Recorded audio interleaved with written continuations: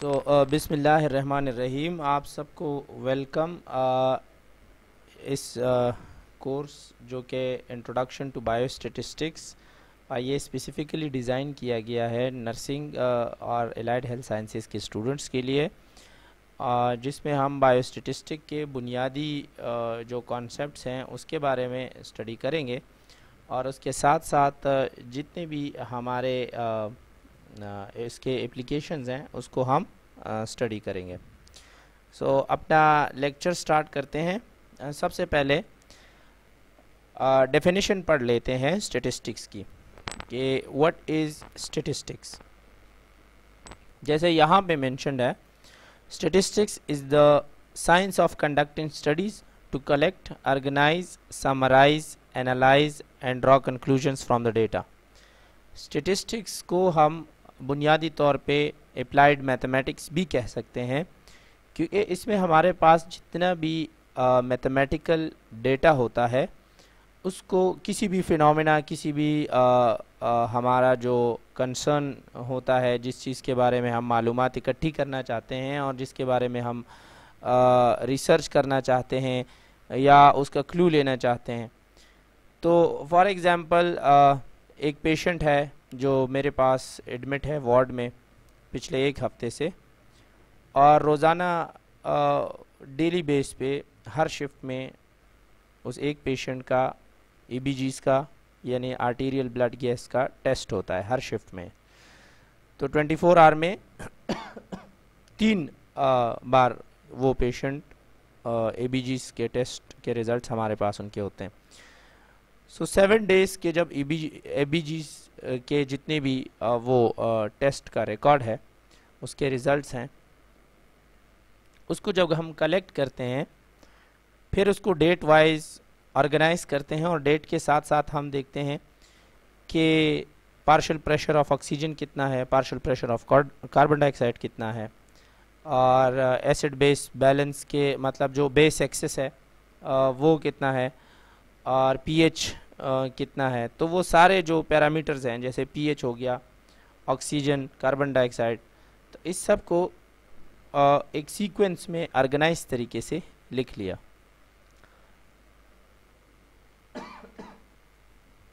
फिर उसको जब हम ऑर्गेनाइज करके समराइज करते हैं मतलब एक शॉर्ट फॉर्म में लेकर आते हैं, अगर उसमें कोई ऐसी चीज़ें जो कि हमें नहीं रिक्वायर्ड होती, उसको हम हटा देते हैं। अननेसेसरी होती है। तो उसके बाद उस डेटा को एनालाइज करते हैं। अपने मकसद के लिए। और एनालाइज करने के बाद उसको हम, उससे हम अपने मकसद के कंक्लूजन्स जो हमें रिज़ल्ट्स चाहिए होते हैं, उस डेटा से लेते हैं। तो ये सारा प्रोसेस जो हम फॉलो करते हैं, इसको हम स्टेटिस्टिक्स कहते हैं। तो बुनियादी तौर पे किसी भी इशू के बारे में जब हम कंक्लूजन या कोई भी एक अपनी राय कायम करना चाहते हैं तो उसके बारे में हम सबसे पहले मालूम इकट्ठी करते हैं, फिर उन मालूम को ऑर्गेनाइज करते हैं, फिर उनको समराइज़ करके एनालाइज करते हैं और वहाँ से फिर अपनी राय कायम करते हैं। तो इसको हम जनरली स्टेटिस्टिक्स कहते हैं। अब जब यही स्टेटिस्टिक्स बायोलॉजिकल या मेडिकल साइंसेज में इस्तेमाल हो यानी हेल्थ साइंसेस के फ़ील्ड में, जहाँ पे वो लिविंग ऑर्गेनिज़म या जो हमारी लिविंग ऑर्गेनिज़म से रिलेटेड डेटा होता है, उसमें ये स्टेटिस्टिक इस्तेमाल हो तो उसको हम बायो स्टेटिस्टिक्स कहते हैं। सिर्फ़ बायो कवर्ड वो लाइफ का प्रेजेंस वहाँ पे कि इस डेटा में ऐसी चीज़ें हैं जो कि लिविंग थिंग से रिलेटेड है। अच्छा जी। अब यहाँ पे ये एक्सप्लेनेशन इसकी देख लें तो कहते हैं कि स्टेटिस्टिक तकरीबन इंसान की ज़िंदगी के हर फ़ील्ड में, हर सतह पे इस्तेमाल होती है।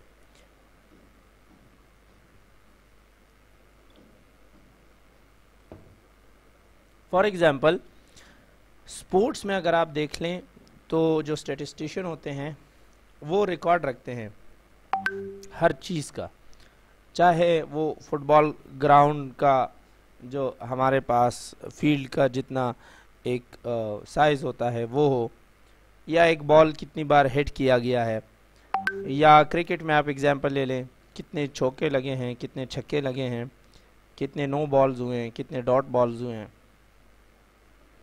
इसके अलावा बाकी एरियाज़ अगर आप देखें पब्लिक हेल्थ जैसे कम्युनिटी हेल्थ हो गया या आप अपने डी वगैरह में देख लें, जो डिस्ट्रिक्ट हेल्थ ऑफिसर्स के ऑफ़िस होते हैं वहाँ पे तो वहाँ पे वो रिकॉर्ड रखते हैं कि एक डिस्ट्रिक्ट में किसी एक डिज़ीज़ के बारे में। फॉर एग्ज़ाम्पल फ्लू वायरस ले लें तो कितने केसेस आते हैं एक साल में? या डायरिया कोलेरा एच इस तरह के जो डिज़ीज़ होती हैं तो इनके क्या बुनियादी तौर पे हमारे पास नंबर्स रिकॉर्ड होते हैं? एक एजुकेशन में आप एजुकेशन सेक्टर में अगर इसकी मिसाल ले लें तो फॉर एग्ज़ाम्पल अगर एक रिसर्चर ये मालूम करना चाहता है कि नया तरीका टीचिंग का, उसमें नंबर्स बेहतर आते हैं स्टूडेंट के स्कोर बेहतर आते हैं, या जो पुराना तरीका था उसमें तो वहाँ पे वो उसका डेटा नंबर्स जो स्कोर्स होते हैं स्टूडेंट के जीपीए वगैरह उसको रिकॉर्ड करके कंपेयर करेगा। और कंपेयर करके वहाँ से फिर अपनी राय कायम करेगा कि पुराना सिस्टम टीचिंग का बेहतर था या नया बेहतर था।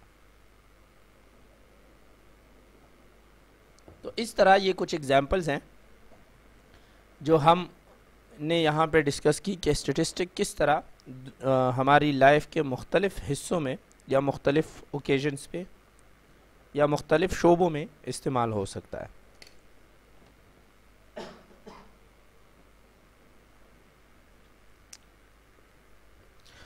अच्छा जी, जब हम स्टेटिस्टिक की डेफिनेशन हमने सीख ली तो हमें ये भी सीखना और समझना है कि स्टेटिस्टिक की कितनी टाइप्स हैं।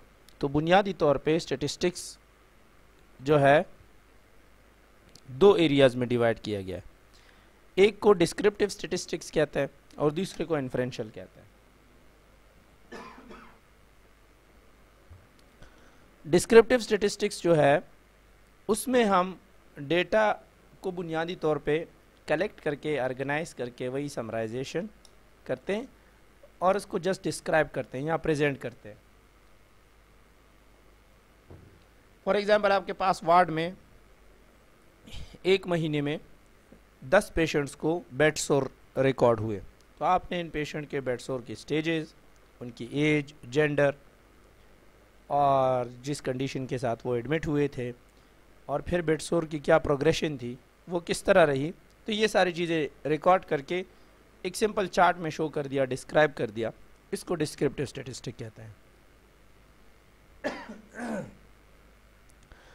अब डिस्क्रिप्टिव स्टेटिस्टिक की एक्सप्लेनेशन जो यहाँ दी है फॉर एग्जांपल जो पाकिस्तान में मरदमशुमारी होती है।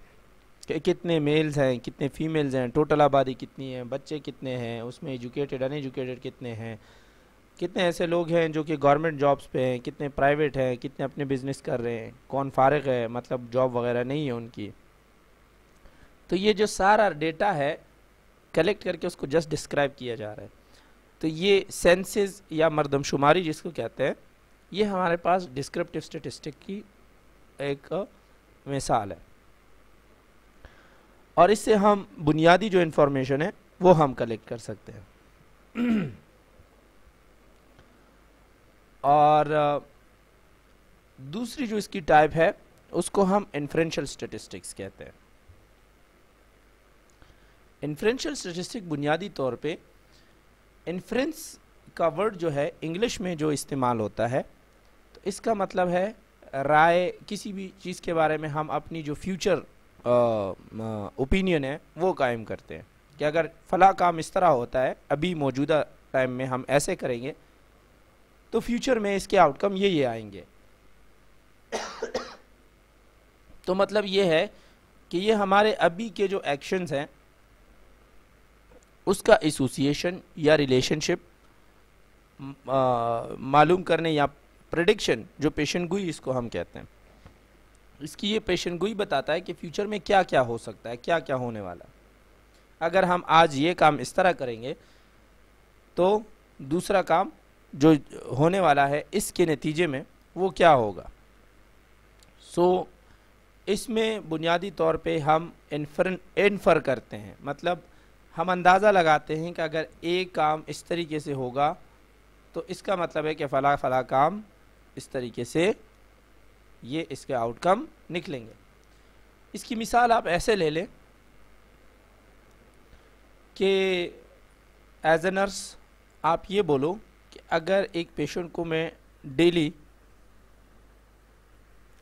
कैंसर पेशेंट है और डेली मैं माउथ केयर दूँ उस पेशेंट को तो उस पेशेंट के जो डाइट्री पैटर्न पे कीमोथेरेपी का इफ़ेक्ट होगा, वो कम होगा। बनस्बत उन पेशेंट के जिनमें माउथ केयर ना हो। क्योंकि आपने देखा होगा कि अक्सर कीमोथेरेपी के दौरान कैंसर पेशेंट खाना पीना छोड़ देते हैं, वेट लॉस हो जाता है और उनको फंगल इन्फेक्शन होते हैं बहुत सारे मसले होते हैं गैस्ट्रोइंटेस्टिनल से रिलेटेड तो अगर आप ये कहें कि अगर एक पेशेंट को हम अपने वार्ड में रोज़ाना हर शिफ्ट में या चलें सुबह शाम एक एक बार माउथ केयर दें तो उनको इसके नतीजे में फंगल इन्फेक्शन नहीं होगा। और उनकी डाइटरी पैटर्न बेहतर रहेगी। बनस्बत उन पेशेंट के जिनका नहीं होता।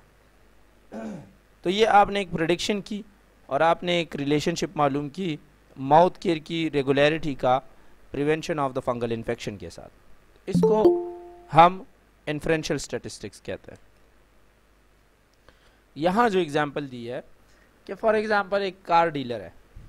वो पिछले साल जितने उससे गाड़ियाँ सेल हुई है एक स्पेसिफिक मंथ में वो देखेगा कि पिछले साल जून में आ, मेरे शोरूम से अगर 40 गाड़ियाँ सेल हुई हैं तो मुझे इस साल उसी टाइप की कितनी गाड़ियों का ऑर्डर देना है।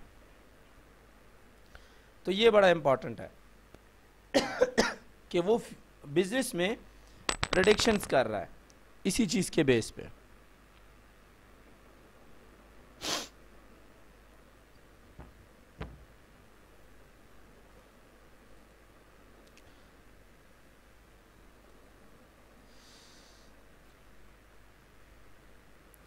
अच्छा जी तो यहाँ पे हम बुनियादी तौर पे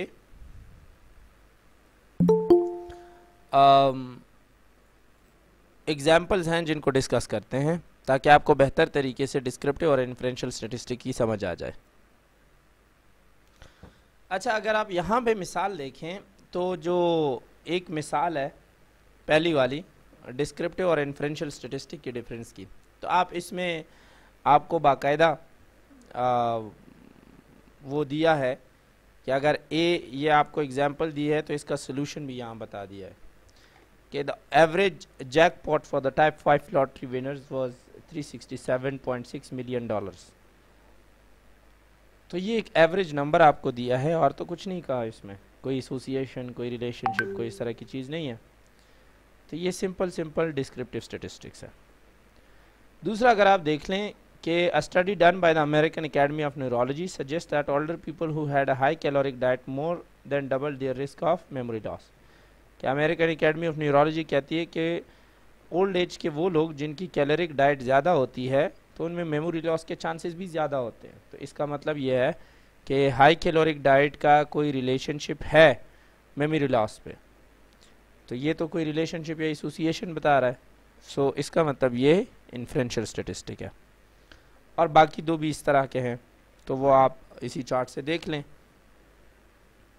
अब आते हैं स्टेटिस्टिक में कुछ इंपॉर्टेंट कॉन्सेप्ट्स हैं, जिसका समझना हमारे लिए बहुत इंपॉर्टेंट है।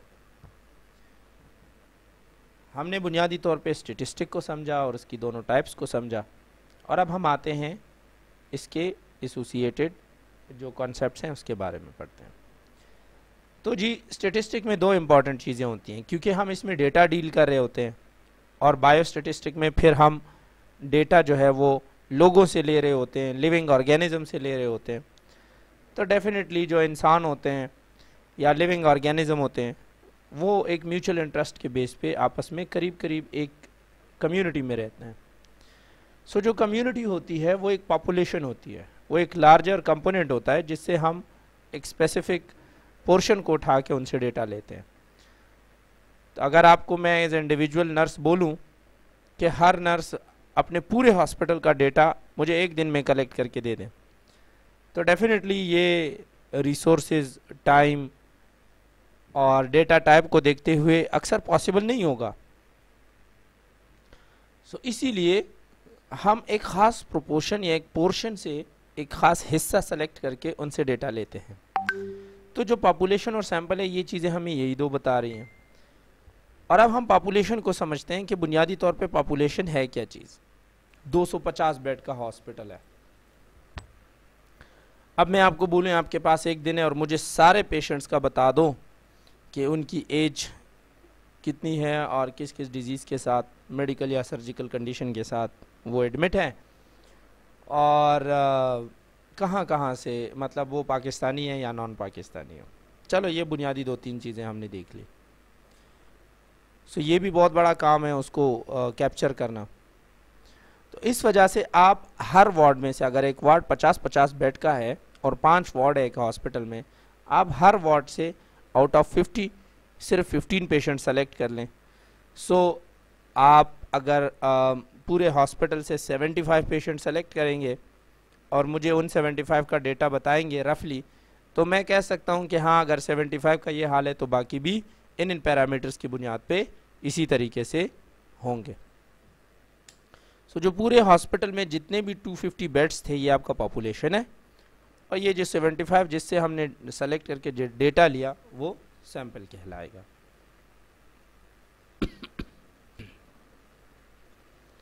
सो so, ये अब एरेस कैसे होगा? ये फ़र्स्ट टाइम मैं यूज़ कर रहा हूँ।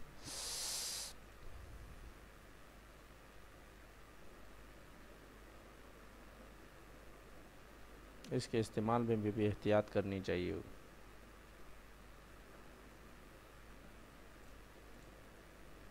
अच्छा जी सो अब हम example of population and example of sample पे आते हैं कि इनकी क्या एग्ज़ाम्पल होगी? जैसे मैंने पिछले स्लाइड में भी आपको काफ़ी डिटेल में दो तीन एग्ज़ाम्पल दिए हैं।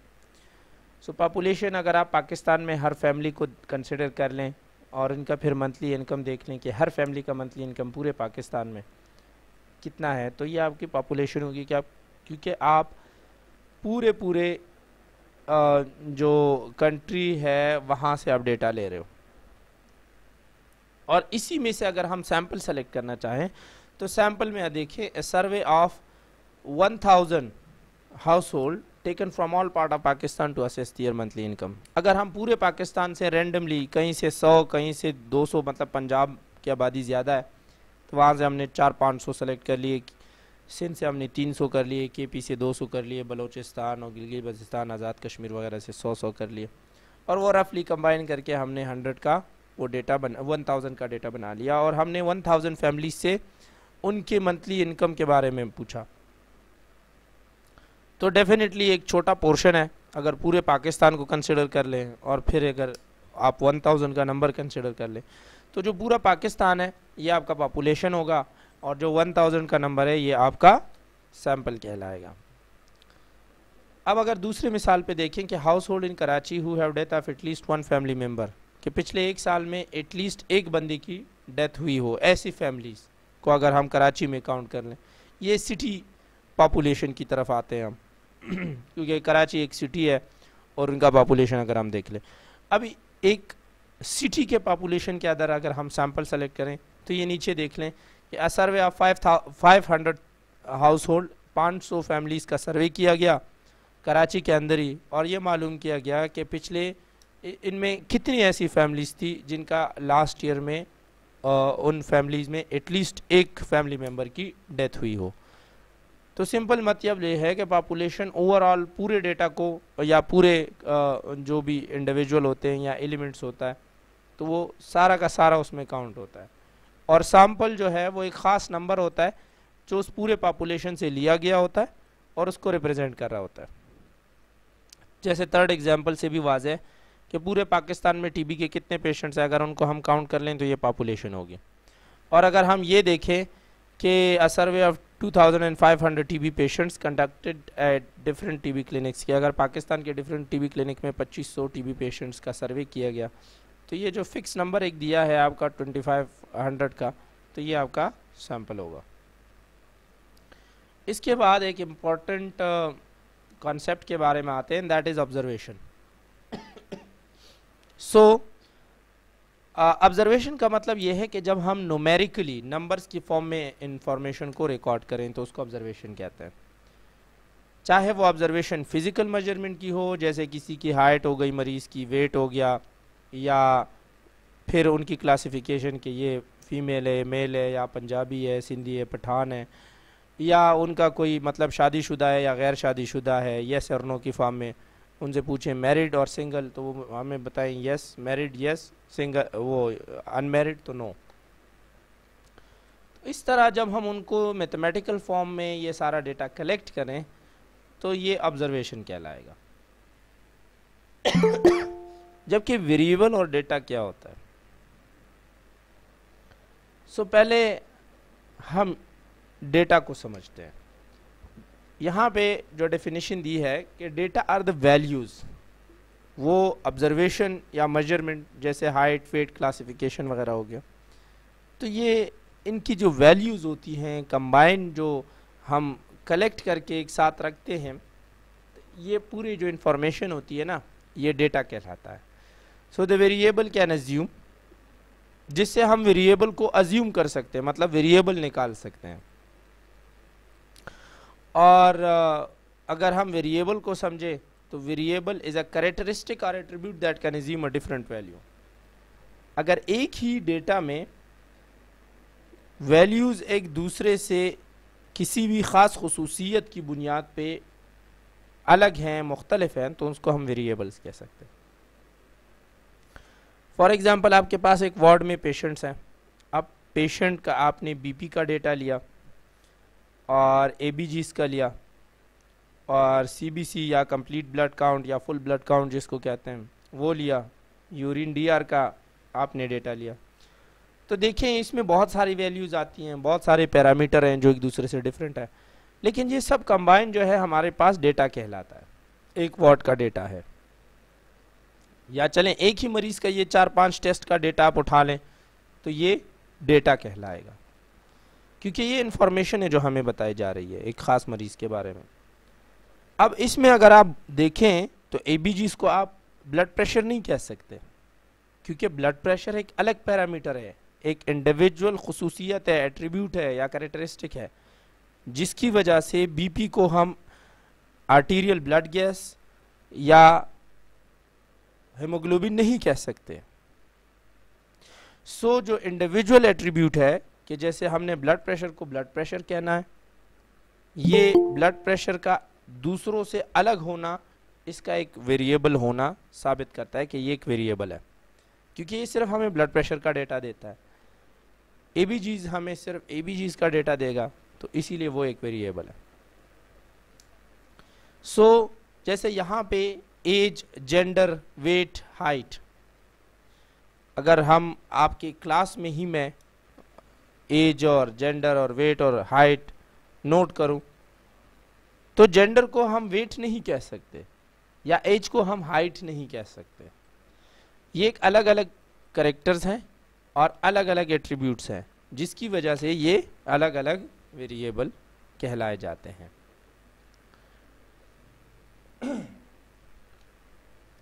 सो so, बुनियादी तौर पे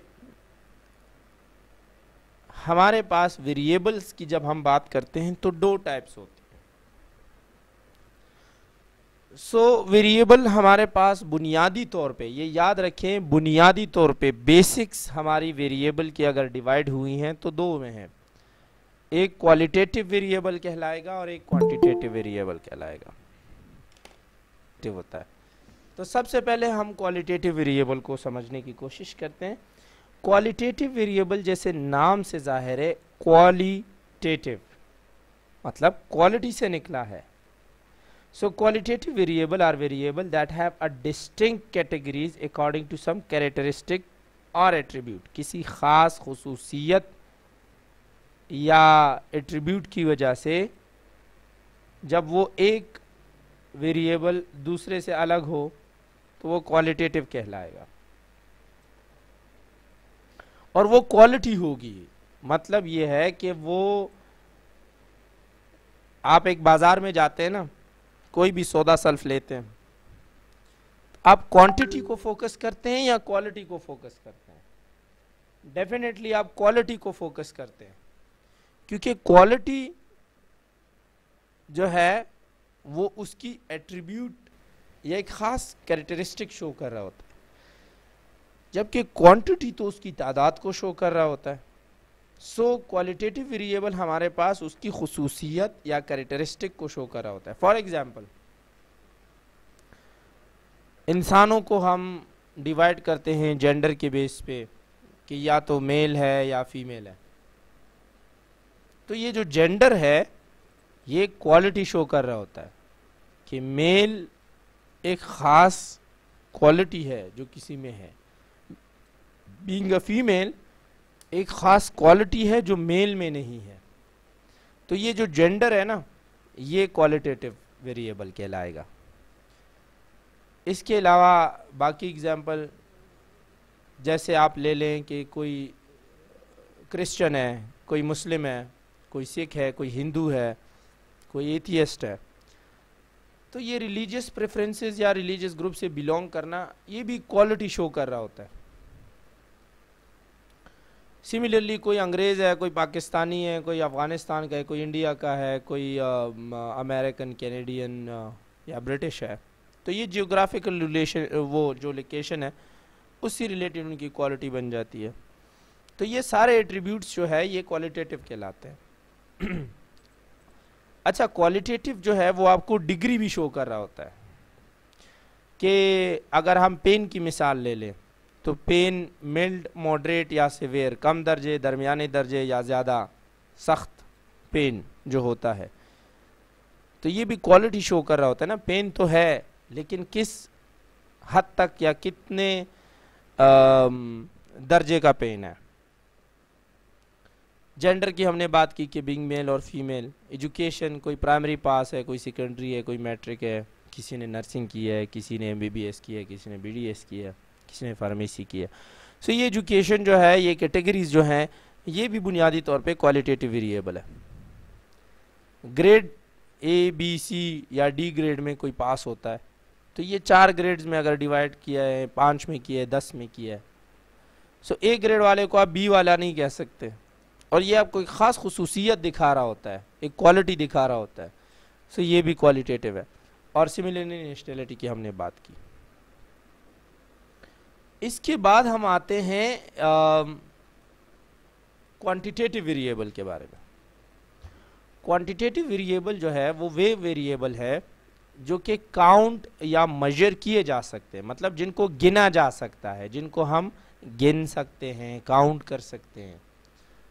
फॉर एग्ज़ाम्पल आप जेंडर को गिन सकते हैं। जेंडर तो हमें मतलब पता है ना कि अगर कोई मेल है तो मेल है। फीमेल है तो फीमेल है। तो वो तो एक क्वालिटी हो गई ना। लेकिन अगर दूसरी जानब देखें एज को तो किसी की एज अगर एक साल है, दूसरी की एक साल एक महीना एक दिन है, तीसरे की एक साल एक महीना दो दिन है तो ये एक दिन, दो दिन, तीन दिन, क्या बल्कि एक एक मिनट, एक एक सेकंड, एक एक घंटा, ये भी एज के हिसाब से एक दूसरे से बंदे को मुख्तलिफ़ कर देता है। सो इसलिए इसको हम गिन सकते हैं। और इस तरह के वेरिएबल को हम क्वांटिटेटिव वेरिएबल कहते हैं। और इस तरह के वेरिएबल में the people can be ranked in order to their value of their ages कि अगर एक घर में आप देखें, बहन भाई होंगे, भाई बड़ा है, फिर उसके बाद बहन है, फिर एक भाई है, फिर दो बहन है, फिर एक भाई है। तो वो एक ख़ास रैंकिंग के बेस पे वो बड़े भाई को हम बड़ा क्यों कहते हैं? क्योंकि एज में हमसे बड़ा होता है।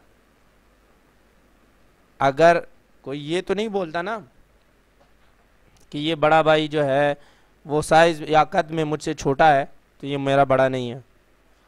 नहीं एज जो है वो काउंटेबल एक ऐसा फैक्टर है जिसको हमने बड़ा होने के लिए या बड़ा कंसिडर होने के लिए एक इंपॉर्टेंट एट्रीब्यूट दिया हुआ है। सो so, एज एक खसूसियत भी रखता है लेकिन इस पे बेस पे काउंटिंग भी होती है। इसीलिए एज जो है वो क्वांटिटेटिव वेरिएबल है। बाकी एग्जांपल आप देखें हाइट वेट बॉडी टेम्परेचर तो ये सारे क्वांटिटेटिव वेरिएबल है।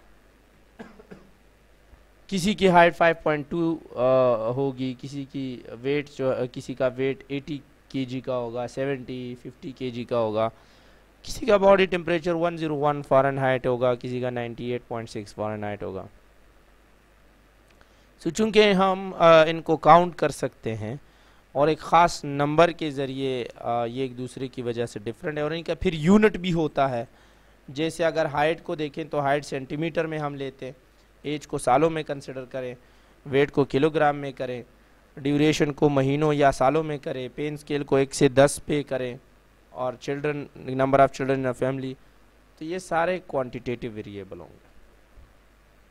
बाकी क्वांटिटेटिव क्वालिटेटिव की जो फर्दर टाइप्स हैं कि जैसे डिस्क्रीट कंटिन्यूस और रेशो और आम, बाकी जो नॉमिनल ऑर्डिनल है वो हम नेक्स्ट लेक्चर में इंशाल्लाह पढ़ेंगे। यहाँ पे क्वेश्चन अराइज होता है कि पेन स्केल अगर क्वालिटेटिव है तो क्वांटिटेटिव कैसे हो गया? क्योंकि पेन तो एक एट्रीब्यूट है। तो जैसे इस एग्ज़ाम्पल में मैंने एज का बताया कि एज भी एक खसूसियत है। एज को आप हाइट तो नहीं कह सकते, या वेट तो नहीं कह सकते। तो ये इसका एक, अलग वेरिएबल होना शो कर रहा है। लेकिन एज को चूँकि एज के साथ जो है वो ईयर आर या चले आप दिनों के हिसाब से एज काउंट कर लें तो हर दिन के गुजरने के साथ एज चेंज होती है। सो so, इसीलिए एज को काउंट किया जा सकता है। सो so, इसी तरीके से पेन को भी अगर आप देख लें तो पेन एक ख़ास वेरिएबल है एक एट्रीब्यूट शो कर रहा हूँ। अगर उसको हम तीन कैटेगरीज में डिवाइड करें और जिसका वो ऐसी कैटेगरीज हों जिनको हम नाम दे दें कि ये कम दर्जे का पेन है, दरमियाने दर्जे का पेन है और ज़्यादा सख्त पेन है तो वो क्वालिटेटिव होगा। क्योंकि उसको हमने एक नंबर से शो नहीं किया, उसको हमने काउंट नहीं किया। कैटेगरी या स्केल तो दे दिया कि भाई ये दर्जा क्या है, लेकिन नंबर नहीं दिया। सो वो क्वालिटेटिव वेरिएबल होगा। जबकि यहाँ पे अगर आप पेन स्केल देखें एक से दस तक लेके सो so, um, अगर हम पेशेंट को कहते हैं ना कि अगर बहुत कम पेन है तो इसका मतलब है एक दर्जे का है अगर दस तक है तो इसका मतलब इतना पेन है कि इंसान बिल्कुल बर्दाश्त नहीं कर सकता। सो so, ये हमने एक स्केल दे दिया एक पैमाना दे दिया जिस पे मरीज़ हमें कोई ख़ास नंबर के मुझे छः दर्जे का सात दर्जे का आठ दर्जे का दर्द हो रहा है। तो फिर जब हम इसको एक नंबर दे दें और एक नंबर के ज़रिए हम इसको काउंटेबल बना दें तो ये फिर क्वांटिटेटिव वेरिएबल कहलाता है।